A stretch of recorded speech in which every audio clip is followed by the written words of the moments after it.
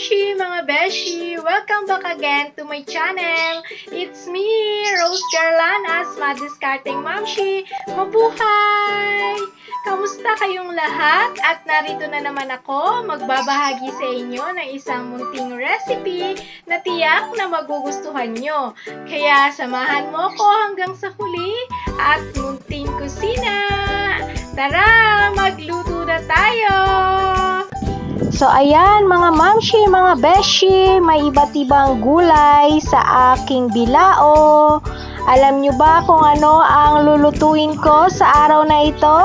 Tara at simulan na natin ang pagluluto ng chop suey with squid balls. So simulan ko ang pagbabalat ng mga gulay at ang gulay ay pangpahaba ng buhay. Kaya tayo na at kumain ng masustansyang gulay, chapsoy. At ito ang mga sangkap sa aking pagluluto. Hiniwa ko na ang sayote, bagu beans, carrots, bell pepper, chicharo at young corn. At ito naman ang broccoli at cauliflower. Dadagdagan ko din siya ng squid ball at atay ng manok at manok.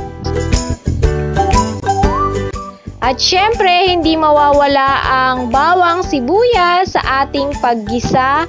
Kaya simulan na natin ang paggisa ng ating gulay.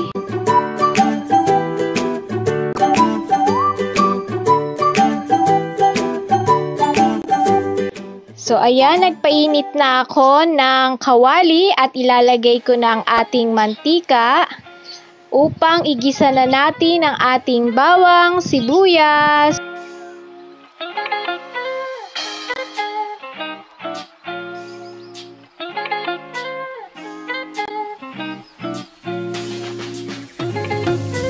Pag okay na ang ating bawang sibuyas, ilalagay ko na ang karne ng manok. Halu-haluin lang natin ito at pwede na nating timplahan ng asin at pamintang durog upang manuot ang lasa sa ating manok.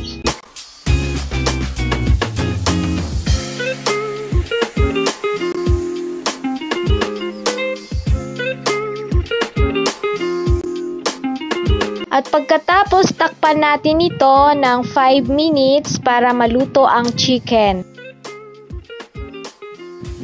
So, i-check na natin ang ating manok kung ito'y luto na. At halu-haluin lang po muna natin. So, eto at luto na nga ang ating chicken. At isusunod ko na ang ilalagay ang ating squid balls. Nalagay na natin ang ating squid balls, halu-haluin din natin ito at takpan muli upang maluto ang ating squid balls.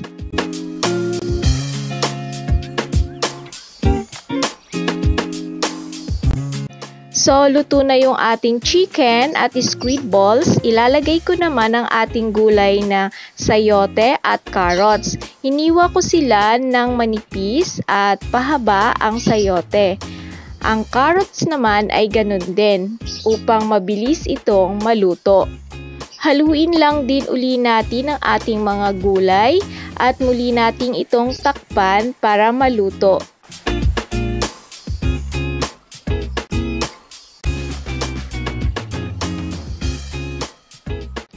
So, we need to check if it is half cooked na yung ating gulay na carrots at sayote.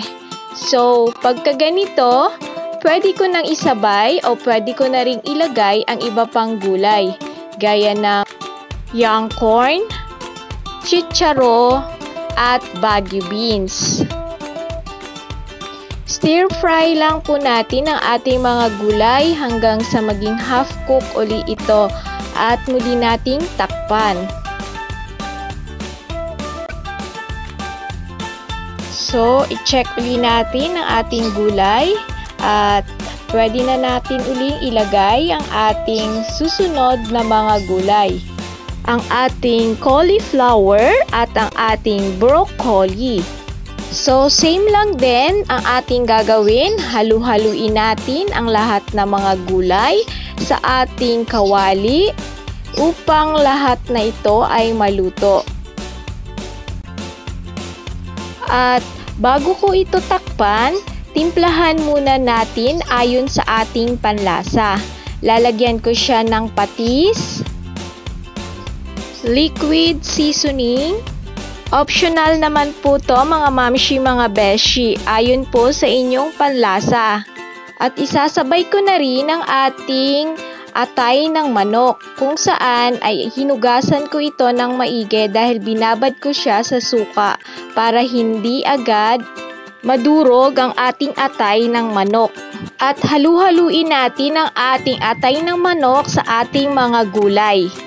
Oops, mga mamshi, mga beshi, hindi pa dyan tapos ang aking pagtitimpla at lalagyan ko din siya ng konting asukal para naman may twist ang lasa ng ating chapsuy.